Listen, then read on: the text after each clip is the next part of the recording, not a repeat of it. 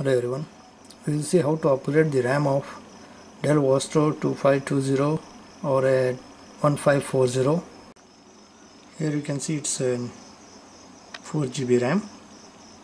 So we will upgrade it to 8 GB. Turn off your laptop. First of all remove the battery.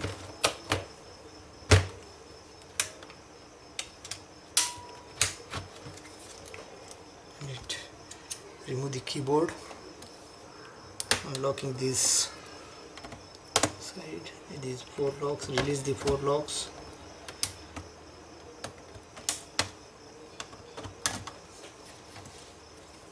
Here it is.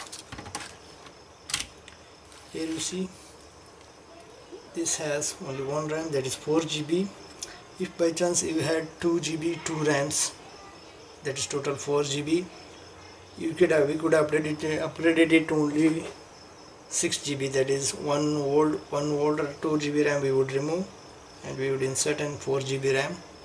Or else we will remove both 2 GB RAMs and we can insert a, one single 8 GB RAM. In this case now it is already 4 GB so we will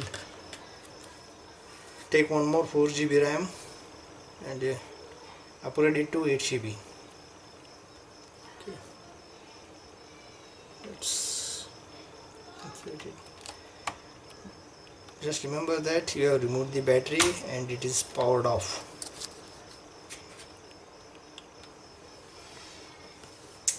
I'll show it once again.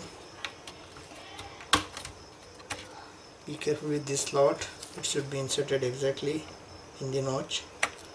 Push it inside gently then push it down okay it's locked now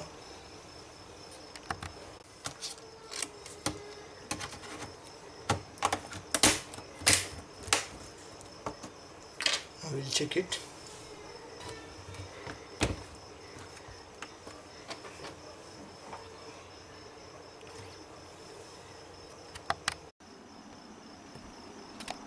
Here you can see it's successfully upgraded to 8 GB